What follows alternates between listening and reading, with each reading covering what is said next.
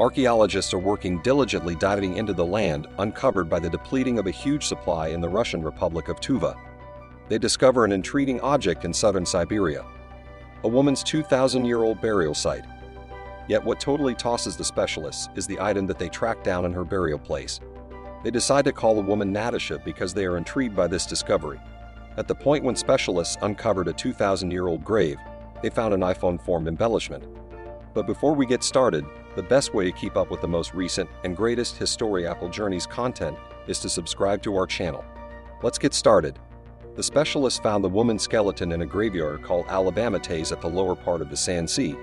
This is a monstrous man-made repository on the Yenisei waterway, which takes care of the colossal San-Siskelia Dam. This is the largest hydroelectric generating plant in Russia. Every May, the reservoir fills up for a few months, allowing archaeologists to investigate the sandy vegetation. This has prompted it being named the Russian Atlantis. The necropolis at the lower part of the Seine Ocean has demonstrated a bountiful wellspring of entrancing archaeological material. Graves there date directly through from the Bronze Age up to the hour of Genghis Khan. In 2016, the grave's peculiar description was discovered.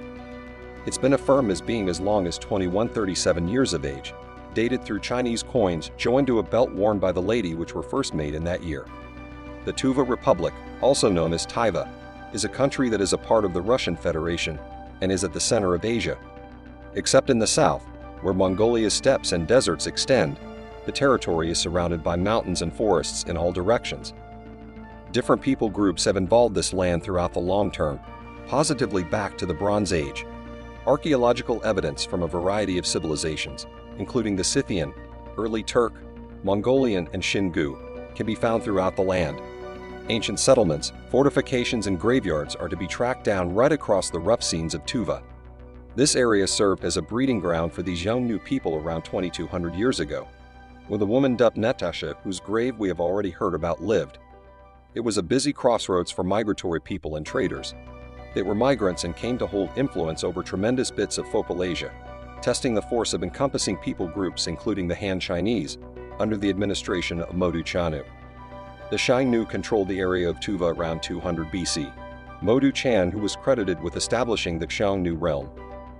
In 209 BC, he ascended to power by ruthlessly assassinating his father, the Tuman who had preceded him. Tuman, it would appear, had never been particularly motivated, so he took him hostage from the rival Yuezhi tribe, and then attacked them in the hope that this would provoke the Yuezhi to murder his son in retaliation. Tragically for his purposes, the ploy fizzled. In fact, Modi escaped from captivity, and his father felt compelled to reward him by giving him command of a 10,000 strong cavalry force. This was a decision that Modi would later regret. In preparation for getting rid of his father Modi, Modi ordered his warriors to shoot first his own horse, and then the pretender's favorite wife, with anyone who swayed being executed in a snap. Then he directed all his faithful devotees to Shubatuman. His father was killed by a hail of arrows, securing his succession so legislative issues was a crude but effective exchange during the time of that Our Lady Natasha was covered in the Alabama Ted burial ground over quite a while back. In fact, we don't know if she was involved in court matters at the time, but the quality of the items she buried with is evidence that she was important, and the cemetery where she lives is recognized as a significant site. The terrorism cemetery dates back more than 2,000 years to the Xiongnu era. This site is set on the sand encompassing the repository, and it appears to be that it has been corrupted by the disintegration brought about by the development of the water. The principal revelations there, human bones and stone graves were really jutting from the supply shores. However, the discovery that this cemetery, like the Alabama one, had not been looted in ancient times was a source of satisfaction for the researchers. The graveyard stretches for approximately one mile along the shore of the C&C. However, despite the extensive damage caused by erosion, a dig conducted in 2018 by the Russian Geographical Society did uncover some complete graves. During the brief annual intervals when an investigation is possible, approximately 30 burials have been excavated as a result of terrorism. One of those was of a lady whose body had become somewhat preserved. This was due to the extremely precise masonry of her coffin, which allowed the stone slab on top to fit so snugly that the body below had been preserved in part.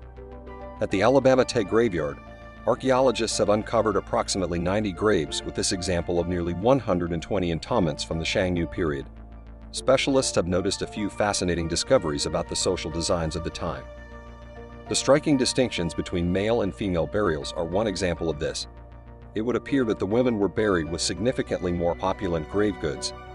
The analysts revealed that the things viewed in male graves tended as of extensively less worth than the products tracked down in the female entombments.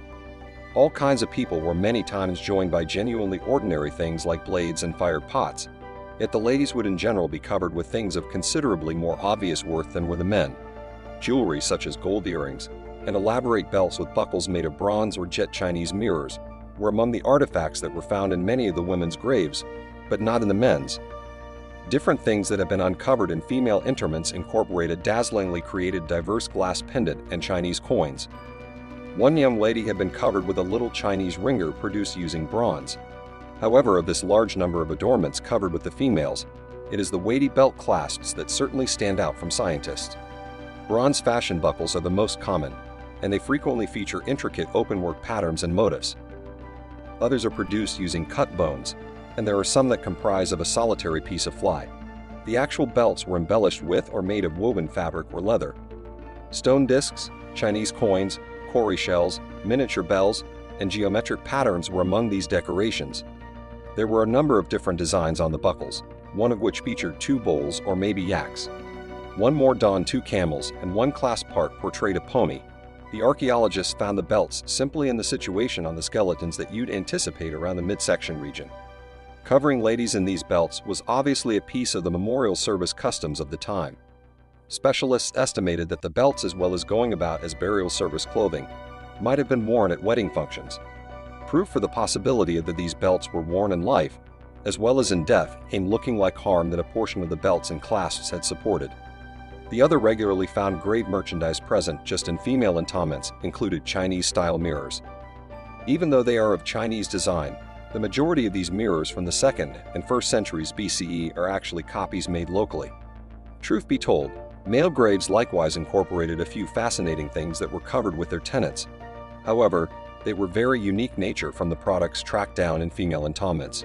These strange ceramic jars might have been lamps, according to the researchers. Many of the archaeologists guess these lights found on a superficial level by the graves as opposed to in them might have shaped piece of the burial service function. After the deceased had been lowered to the ground, it's possible that they were illuminated the real graves showed a wide assortment and design with practically no unmistakable relationship between the kind of individual entombed man-lady, or kid rich or poor.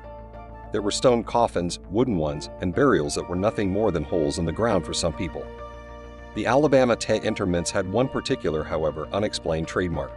There every one of the men were covered with their arms at the edge of their bodies, while the women's arms were organized across the bosom, midriff, or shoulders.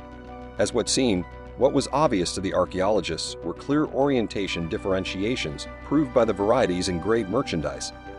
There is no question that female graves were significantly more extravagant than male ones. Conversely, in prior individuals who went before the Xiang, Nu, and Tuva the Scythians had commonly covered men with additional luxurious grave products than ladies. However, it appears that the Xiongnu had reversed this Scythian custom, with women receiving the more extravagant items in their graves, the specialists estimated that this youthful new change in entombment practice could show that ladies in that society had a more raised economic well-being than those in Scythian times. In any case, the scientists were wary about this hypothesis about showing the women's status. They noted that women typically wore more ornate clothing and accessories than men did in Eurasian societies at this time. However, what absolutely appeared to be the case was that a portion of the ladies in the two graveyards were richer than others, the distinctions in abundance were demonstrated by the uniqueness and the lavishness of the grave merchandise. Furthermore, these differences might well have been reflected in various degrees of social situation inside the ordered progression of Shunga society. This is largely a theoretical assumption right now because we don't know enough about this 2,000 year old society to draw complete inferences. In any case, the specialists have made a few speculative endeavors to distinguish exactly who these youthful new individuals thus at the Alabama Te and fear-based oppressors in burial grounds where they accepted they were most likely migrants who were subsidiary with the different people groups who made up this youthful new confederation. They might have arrived at the locale of Tuva from the most northerly pieces of China as the Xiongnu extended their properties. This putative movement would perfectly make sense of why the grave products included such things as Chinese coins and the Chinese-style mirrors, regardless of whether privately made would likewise show impacts from past areas the Xiongnu had possessed prior to getting comfortable Tuva. Using accelerator mass spectrometry technology, the material from the graves has been tested to confirm that the cemeteries date from the 2nd to 1st centuries BC. Also this time, exactly quite a while back finds a place with what we are familiar the historical backdrop of this youthful new individuals. This young newcomer, who might have been warriors or settlers at the time, would have traveled the well-traveled northward path that leads to Tuva. They displaced or absorbed the Scythians, who had been there before. Leaving aside the history of ancient times, some of the graves have provided very human insights into the lives of these young new people, making it easier to relate to them. In 2016, archaeologists uncovered one grave in which the female tenant was luxuriously attired in silk robes, demonstrating that archaeologists have a feeling of the heartfelt they decided to dump her resting magnificence. At first, the scientists accepted that resting excellence could have been a priestess, yet further examination of her grave and its items really made it more probable that she was a Kafskin laborer. One more grave likewise contained a female utilized in distinctive artwork. The fact that this second woman was buried with a sewing kit and a spindle suggests that she was a weaver in the past. One of the belt buckles, approximately 7 inches long and 4 inches wide, that many of these young new females had been buried with was undoubtedly the most startling find of all. That is all for today. I hope you enjoyed the video. Thanks for watching. See you in the next video.